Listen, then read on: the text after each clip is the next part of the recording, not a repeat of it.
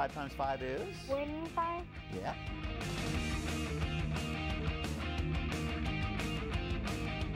Hey folks, welcome, welcome, welcome, and welcome out there. On Thursday afternoon, you are watching Mathline. I'm Ernie Roberts. I'm your host for this afternoon's session. We are grateful and glad that you've tuned in this afternoon. We also, you know, you know what I'm going to say. You know what I'm going to say, right? We want you to call in. All right, that number 844-686-2378. And we've got some folks who are pretty consistent about calling now. No, I'm going to hear from Sammy again today. At least he told me he was going to call again. So we're going to be waiting for him, and also we're going to wait for you guys. Make the show rock today. Our phone operators, once again, the Bearden High Key Club has sponsored, and my goodness, Jesse and Emily, came back two days in a row. Yay! Thank you guys. Great job on your part. Glad you're here.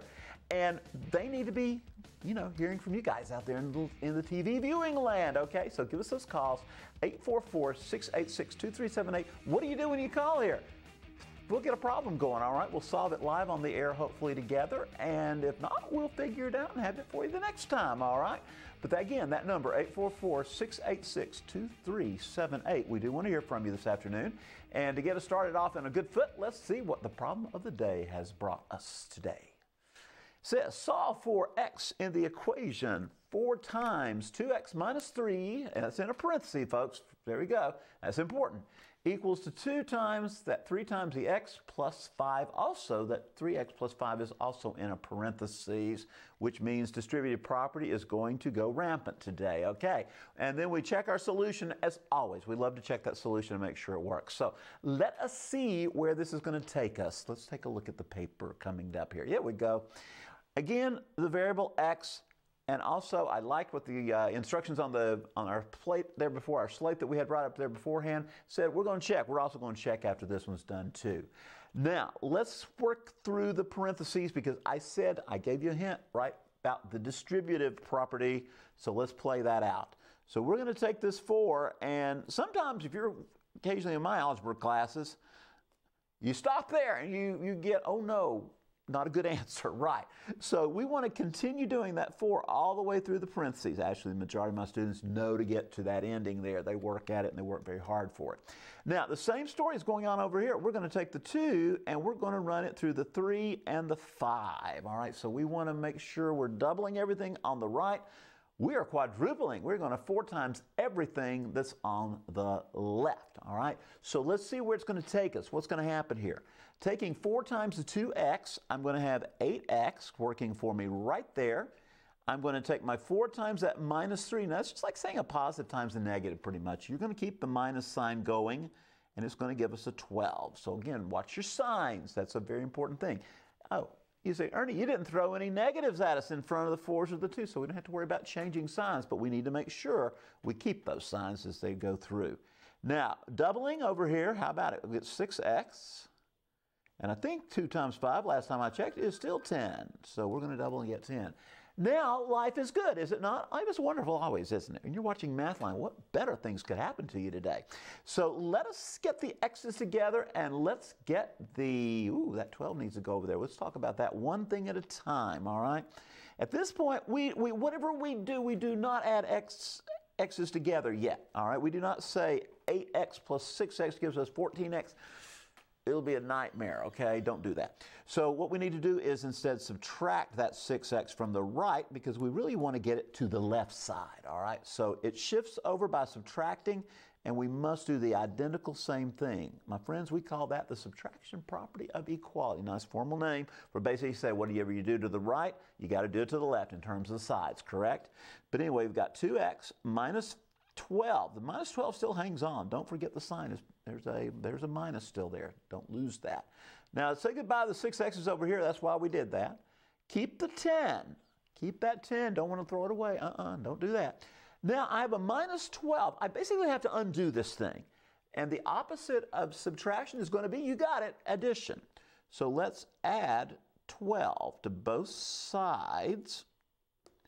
And we've got 2x equaling, it looks like 22. Last time I checked, that's what 10, 10 times. Nah, 10 plus. We're plussing here, right? So we got 22. Divide both sides by 2. And our x is equal to 11. That was pretty easy division, wasn't it, at the very end? Now remember we said we're going to check. So let's do a quick check. four times, whew, two times, put an 11 in there, and we're going to subtract 3. And notice I've got a parenthesis, that means we go there first. And we, we're going to multiply it before we subtract. All right, so do not, as tempting as it may seem to you, do not take 11 minus 3 first. That's last. Remember, my dear Aunt Sally told us so. And on the other side here, we've got 2 times in the parenthesis, 3 times 11, and we'll tack on 5 to that. And when we look at where we're going, the whole idea is we've got to get the same amount over here, same amount over there. So let's work out the parentheses first. How about it? We've got 4 times 2 times 11, last time I checked, is 22, right? That's what we said it was. And we're going to subtract 3 from that. My goodness, that sounds like a 19 coming our way. I hope it is. And over here we've got 2 times, how about it, 36? No, where did I get 36 from? Jumping the gun there, right? 33 and plus 5, we're going to get 38 maybe thinking somewhere, I don't know. Anyway, 4 times 19, how about it? That one comes out, I believe, 76. Over here, we also are going to double 38. That's going to give us 76. Goal is accomplished. We have it checked. And we can do that mentally. Some of you guys can do that mentally. I know some of you guys and ladies out there can just whiz those numbers through your heads. But always do some way, a mental or a physical paper check. Make sure that 11 makes this equation true. And it certainly does on this one, all right? And there's your problem of the day. Now, how about it, folks? Let's get those phones ringing. All right, we got those folks from Bearden Key Club waiting to take care of you, talk to you, and send you on in here to me. All right, we'll talk together. I look forward to it because you guys do make the show rock when you call through. I understand I have a caller waiting on the line. Welcome to Mathline this afternoon. And who might I be talking to? Sammy Fuzzy Sammy is back. Good to hear from you, sir. And he's from Knox County, right, Sammy? Yes. All right, so we got it going here. And Sammy, welcome to the show again. He's been with us a couple days this week, and I always appreciate hearing from him. So, what kind of problem you got for me today, Sammy?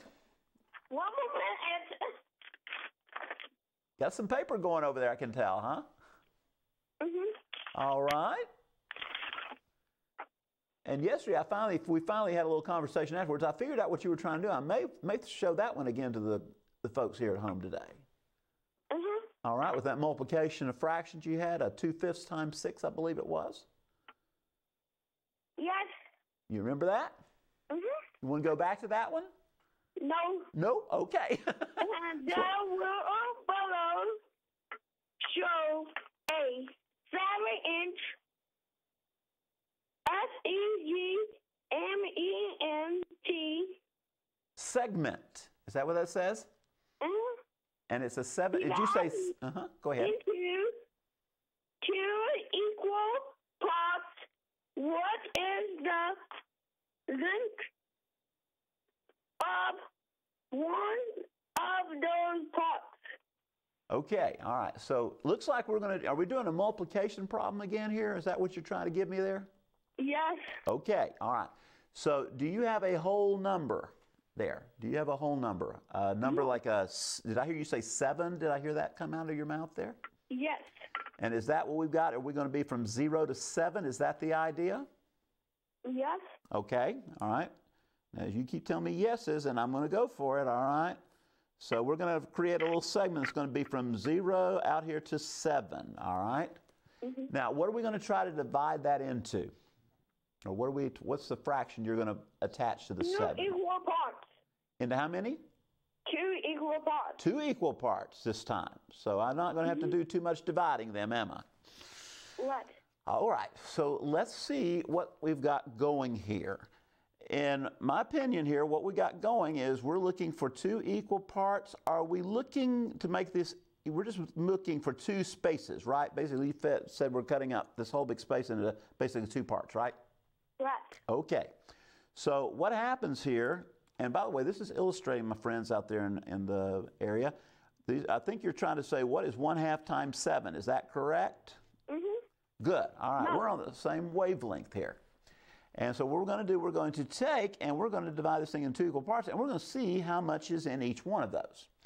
So I, we're, I, I split it right down the middle, is the way I look at it here.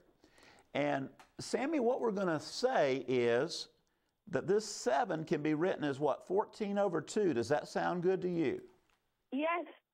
And what we're going to do, we're going to split that 14 in half. We're going to split that 14 in half because that's what we're looking for is one half, right? Mhm. So that is basically going to come back and give us 7 over 2, all right? Because we had 14 halves, and Sammy said we're going to divide these things into even pieces. It means we're going to take half of that 14 and get 7 halves. And you know what? Those of you who like the old fashioned way of multiplication, if we take 1 half times 7 and put a 1 under it, you know what we're going to get there? We're going to get 1 times 7, which is 7 over 2, which is the same value that I have right here. So far, so good, Sammy? Yes. Now, you know what? Your teacher probably likes those mixed numbers, does she? Or he? I don't know if you got a male or female teacher She. there. It's a she, all right. Probably likes those mixed numbers. So, what are we going to get? We're going to say, how many times will 2 go into 7? And that would give us actually what? 3 and 1 left over. So, how about it? 3 and a half? That sound good? Mhm. And that is how far it is from 0 to obviously 3 and a half.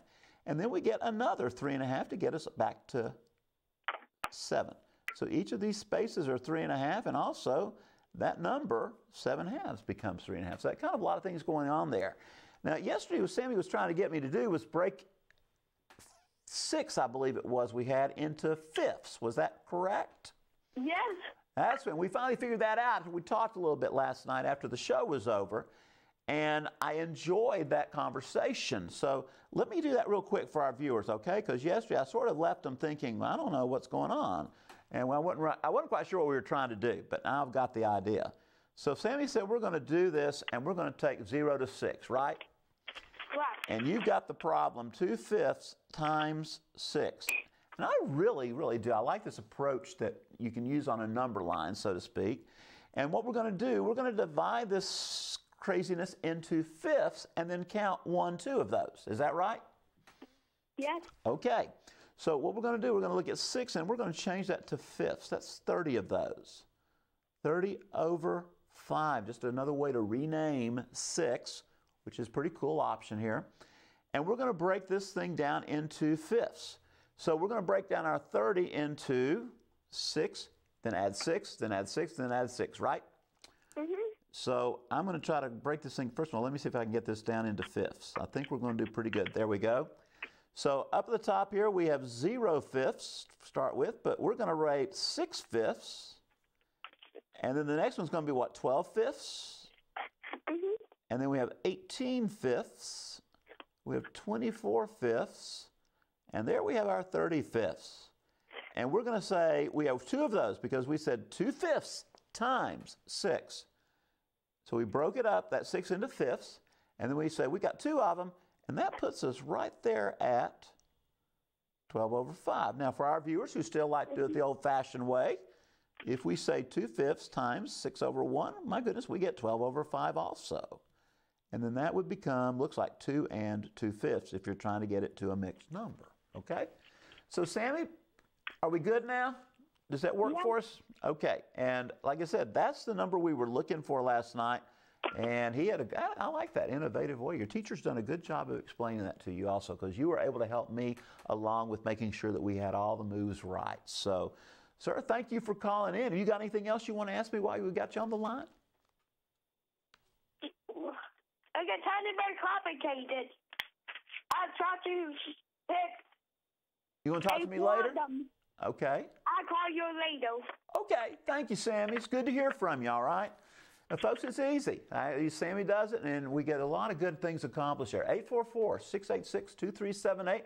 Our Bearden High School Key Club members. We got Emily and Jesse out there needing to have something to do. They're giving it their time to come here and help us out this afternoon, and we do appreciate it. Actually, Bearden Key Club does a lot for us. They do a lot of these afternoons, give a lot of their time volunteering to answer phones for us throughout the year. And this week, they've been here every day. So that's great to have them along, and we want to make sure they've gotten a good workout. So that number, 844 686 2378. Looks good, sounds good, and they do a great job. Thank guys, appreciate it. Now, what I have going on here, you all need to make the show rock right out there. That's the next thing. 844 686 2378. I think I hear a phone ringing. Thank you for whoever's calling there. Keep calling us. Let's go back to a problem of the day for a couple of days ago when we had to figure out what kind of triangle we had. You're going, oh my goodness, that was a long time, Ernie. So let me refresh your memories here. We had three points. We connected them and we put a right angle there because we checked slopes. Remember slopes. And we found out that, that if folks, if they're opposite reciprocals, the slopes on a graph of lines that come together, if they're opposite reciprocals, they're going to be perpendicular, all right? So this one came out to be go down three blocks over one. So this is our first little slope.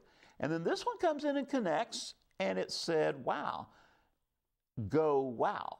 Up three, that's your rise, and run over nine. So we ended up with a one third. Opposite reciprocals, right? Now, what we're going to do, I've got a caller waiting right now. So what we want to do, I want to show another option, is let's use the distance formula. You say, well, distance formula? What we're going to do, actually, we're going to kick with it really well here. But what we want to do is figure out how long this side is, how long this side is, and then, then use Pythagorean theorem, a squared, b squared, and c squared, and see if we can't get a right triangle out of those two. And we'll see if we got enough time for that with the show. But first of all, I do have a caller waiting in the wings. So welcome to Mathline. Who am I talking with? Sammy Felici. Oh, Sammy, you're back. Boy, that's quick. I thought you were going to wait till after the show. How are you doing again? Good. All right, what you got for me? What's your new problem? What is the quadratic of one half times two thirds? Okay, so we're going to do one half of two thirds, right? Mm-hmm. So he said product, so we are going to take one half times two thirds. Now, do we want a number line for this one also? Number line. Number line. You're going to insist on those number lines. That's great. So what we're going to do, we're going to start out with that zero. That zero helps us out a lot, my friends, because then Mm-hmm. we're not trying to stagger it between, uh, you know, some strange values. We're looking for two thirds. So two thirds is out here somewhere, all right? And that line just keeps going on and on and on, but we are only going to worry about the two thirds part, right? Right. So Zero, we're going to, one, and two again. okay, so basically we're going to, we're going to break this thing in halves, aren't we? We're going to split it because you're saying we want to use these twos, right? Uh-huh. Okay, so let's take a look at it. That's going to be, I'm going to go for splitting it right there. So I have, Sammy, I have zero thirds here, and I have two thirds here. So what's in the middle? It's easy, isn't it? Zero, and then what's the next number after zero? We'll go to one, and then we're at two, right? Uh-huh. So there's one third. That pops out pretty quick. What that's mm-hmm. telling me though is we have a one third distance here and a one third distance here. You're mm-hmm. going basically traveling from zero to the first point because you're only asking for the first half, right? That's what this mm-hmm. one half is, folks. That's what we're talking about. A little bit of new math out there. Some of you are like, whoa. um, so as we look at it here, that's a, it's, it's a neat little option, neat, neat little way to get to it. Your value also is going to be one third right there. Now, again, those who like the old fashioned way, here we go, where we multiply numerators together and denominators together. And by the way, it's just as legit as these are. Six is going to be two, and it's two over six. Ah, simplifies down to one third. Also, you could have canceled those twos and still gotten to one third. So we got the value here. That's where we're looking for. How far is this one half over? And that's what we get is that one third. And that's the answer to your problem. Sammy, does that sound good to you? Yes. I bet you can do any of these now, can't you? Mm-hmm. You can split these things apart and change them right and left and all that. That's a neat little method. Hey, um, and again, you got one more for me before we lose you and say you'll come back at the end of the show? One moment, it's Oni. Okay, I got one moment for you. This is going to be the Ernie and Sammy show today. And it's more the Sammy show than Ernie show right now, I think. you getting there? Yes. One moment. Okay. I have little pencils. Folks, go ahead and give us some calls while we're waiting for Sammy to get his uh, find his stuff there that he's wanting to give to me here. 844-686-2378. Enjoying your math line day, I hope today. I am. And uh, give us a call because we're going to be gone after a while for about oh, one, three days, right? Friday, Saturday, and Sunday. We don't have call in, but we'll be back on Monday for a live call in. Speaking of which, while he's looking for those things, specialized segments tomorrow. We are going to look at box plots, sometimes called box and whisker plots. So you don't want to miss out on that. And um, talk about the five number summary, medians, quartiles, goodness sakes, all sorts of little statistical details that are based all about the median. All right, so don't want to miss out on that show tomorrow. And uh, who knows next week what will happen, but we know we'll be live again. I know some of you folks are on spring break this week. Some of you are on spring break next week. Believe it or not, it's already March, isn't it? And a lot of you are going to be off the next week. We're going to still have live shows for the most part. We may have a day or two where we, we weasel out a little bit on you there. But uh, just keep watching us. We are going to be live next week as we plan to be pretty much throughout the duration. And again, we always appreciate when you watch, but we also appreciate it when you give us a call. And Sammy, have you got? Have we lost Sammy? No. No. Okay, Sammy, what you got? You got for me here? One more problem? Yes. Noah. Uh, one moment. It's Ryan. Mhm. You multiply a number by a fraction less than one. Mm-hmm. The logic is blank. The only nation the number because no, you are blank. Okay, so first of all, it sounds like we're just taking any number, any fraction Not- less than one, number. right? Words less than, greater than, equal to. Oh, so we get a choice here. Yes, more choices. Okay. Um, Find the find in a part of the number. Find more than the whole of the number. Sammy, I want to tell you something on this one. Would you do this for me? Maybe your mom or grandmom can help you on this. If you could send me a picture of that one, because there's a you got, you got a lot of words going on in there, and I'm I can't. I, I, it would be great to see that, and they can email that to us, okay? Or they can. Uh, I get yeah. You can send it to us. You can't send it to us on our, our phone because these aren't cell phones that we are, we do your call in on. But uh, if that would work or something, because that would be able to see that a lot easier, okay? Can you do that for us?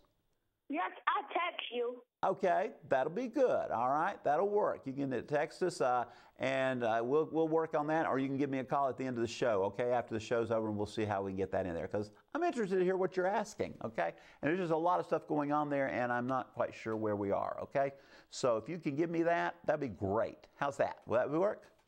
Okay. All right. Hey, thanks for calling us this afternoon. Thank you. Thank you. All right. Hey, got to think of we got a Hey Mathline waiting for us in the wings, guys. So let's take a look at that.